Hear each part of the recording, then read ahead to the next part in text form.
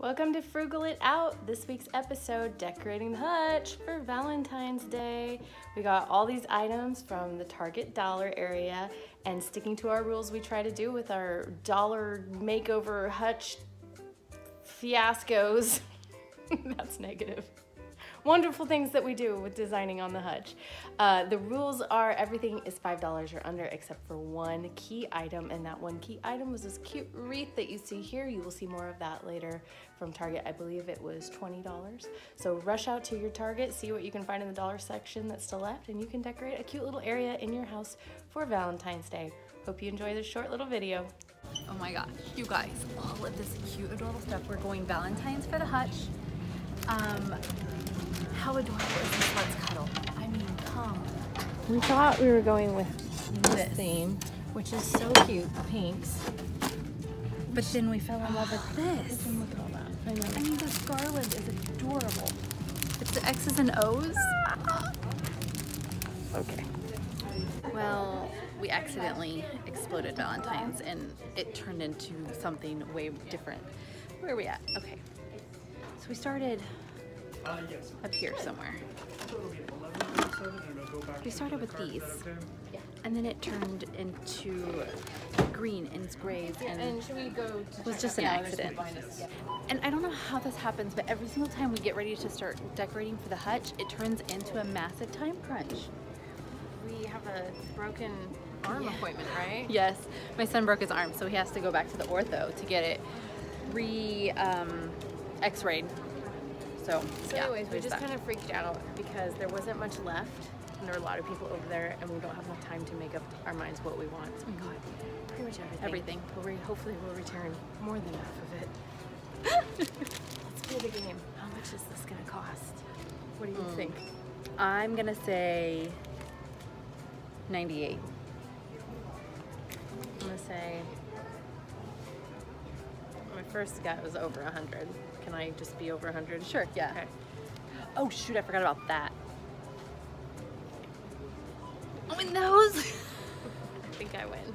I think you win. I was like, maybe 200. I don't think it'd be 200.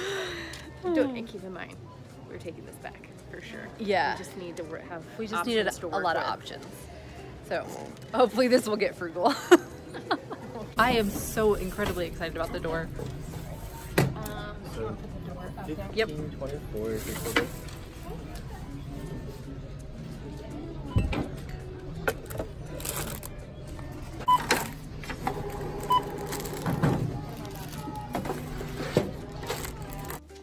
If you look closely, 162 was what we ended up spending.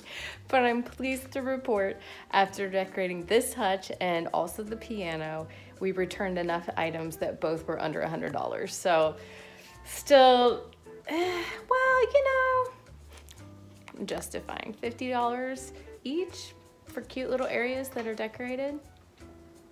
I'd say that's a win. That's pretty frugal. Unfortunately, decorations are just so expensive unless you make them yourself, which we do that too. Which is exactly why we posted two videos this time. A frugal one, not this one.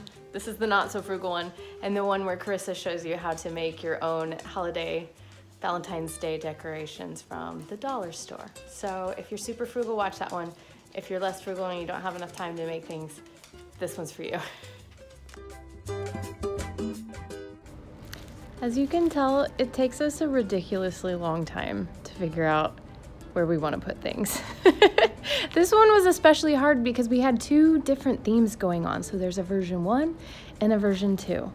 So, which one do you like better? Comment below and give a shout out to version one or version two as your favorite, and we'll see which one wins.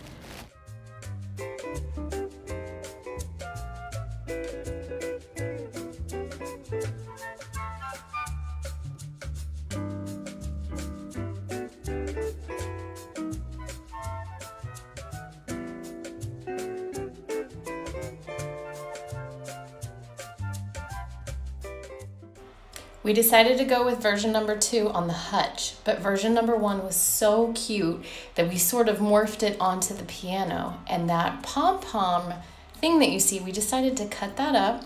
We found a stick that I had found in my yard and turned it into this. Keep watching.